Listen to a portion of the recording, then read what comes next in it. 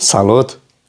Fac acest videoclip pentru tine, dar suntem în situația în care nu știm să, ce să alegem pentru o lumină indirectă cu LED care să bată pe perete.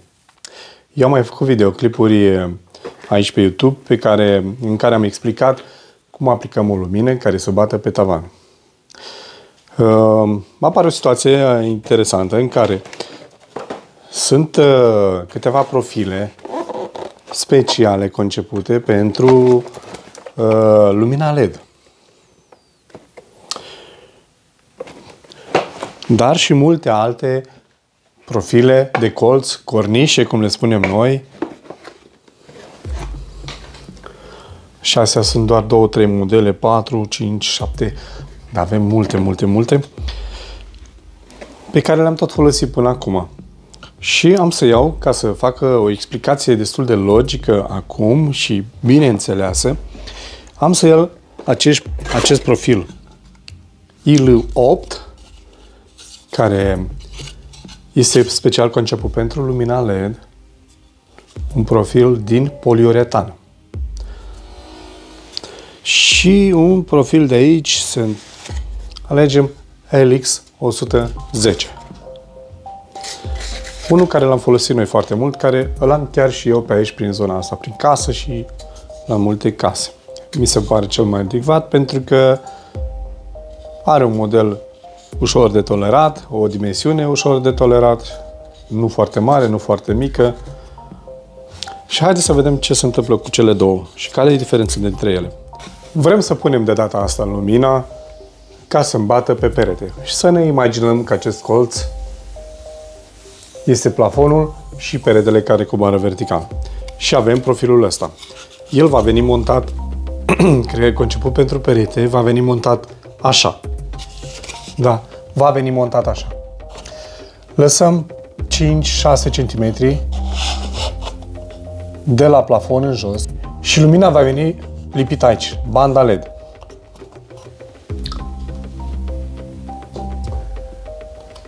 Pare foarte interesant un profil conceput special pentru LED-uri, doar că mie nu-mi place o chestioară. Banda, fiind în poziția de aici, bate direct în sus și pierdem de lumină care nu mai are, nu o mai aruncă nimic în zona asta, pe plafon.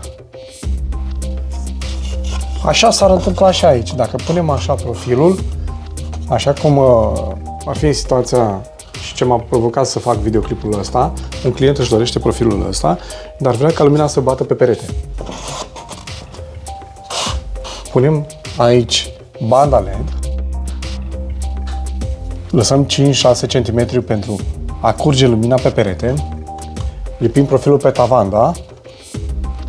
Dar eu am o problemă gravă, pentru că lumina nu va mai curge deloc pe perete pentru că ea bate direct în, la, în perete, așa, pe orizontală și va reflecta destul de puțin în perete. Mai am o situație în care dacă ați lăsat deja firele electrice la o tensiune de 2,2 220 de volți, da? Nu 2,2 uh, eu trebuie să leg de la firele alea un transformator.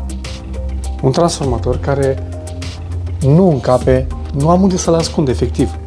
Unul care în mod normal l-aș fi pus într-o doză, ascuns în altă parte și de acolo veneam cu firele până aici în zona asta unde legam uh, banda LED. Deci în cazul ăsta eu sunt nevoit să ascund și transformatorul aici și nu pot face asta pentru că nu încape și mai ales pentru că el ar fi pus exact în fața LED-urilor și ar crea o umbră, o umbră, da? În lumina pe care o am și trebuie să fie o, o lumină continuă pe perete. Chiar dacă ea este limitată, așa cum bate în perete direct, da? Îmi creează și o umbră care nu are ce căuta acolo.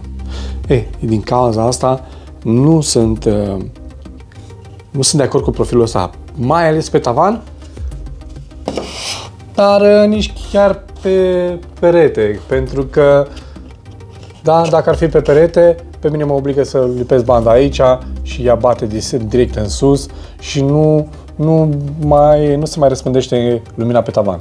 Da? La fel, aceeași problemă, n-am cum să ascund transformatorul, nimic dacă eu deja am pus uh, firele acolo.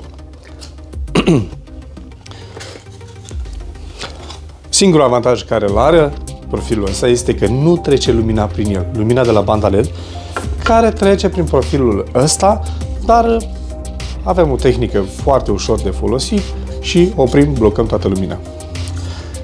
Care este situația lui și de ce mă avantajează pe mine mai mult profilul ăsta? Dacă vreau să îmi lumina pe tavan, întotdeauna, da, el nu are un locaș pentru banda LED. Întotdeauna punem la o distanță ca și celălalt, da? de 5-6 cm pe perete. Dar banda LED nu o mai lipim pe profil ca să bată în sus. O lipim pe perete exact la nivelul în care nu o văd de aici, de jos. Dar toată lumina eu la mine, nu se, la mine nu se vede de jos, nicio bandă LED, doar lumina. E banda LED exact la nivelul în care nu mai poți vedea cu ochiul. Și ea, fiind lipită pe perete, îmi aruncă toată puterea ei pe tavan. Toată puterea ei. Practic, o bandă LED dacă am un plafon mare, poate să arunce lumina 50-60 de centimetri. Dacă plafonul este foarte mic, deja nu se mai vede ca un contur așa 50-60 de centimetri pe tavan, se vede ca o lumină compactă pe tot plafonașul ăla. Da? Asta este că pun cornișa asta simplă pe perete, nu e specială pentru LED, dar am o lumină așa cum îmi place. În momentul în care vreau ca lumina să cadă pe perete, o pun pe tavan. Este exact același principiu, doar că invers. O pun pe tavan. 5-6 cm de perete și lumina LED, banda LED, o lipesc oriunde aici. Nu, se, nu mai trebuie să o ascund în spatele cornișei.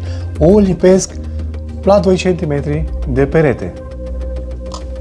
Iar toată zona asta, de aici și până la banda LED îmi rămâne să pot ascunde un transformator micuț,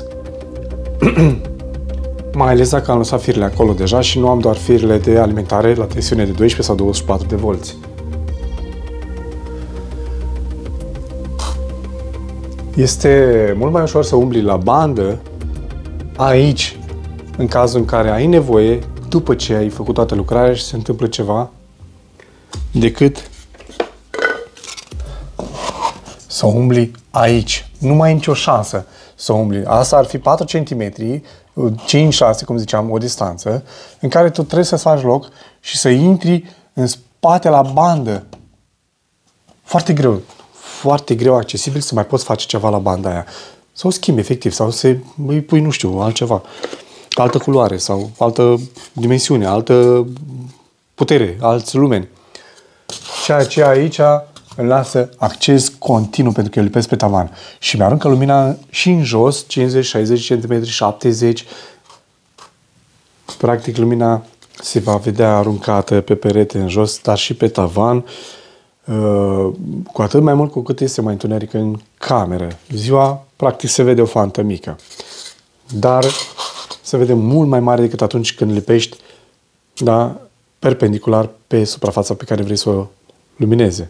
Practic, lumina trebuie să fie lipită paralel, da? să-mi arunce lumina ori în jos pe plafon, ori pe plafon, trebuie să fie lipită paralel cu aceste suprafețe.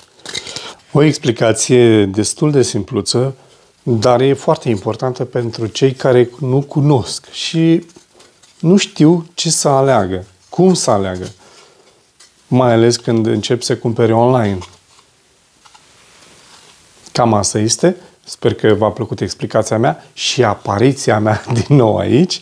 Nu uitați să vă abonați la canalul meu YouTube, să dați like și share. Mult noroc!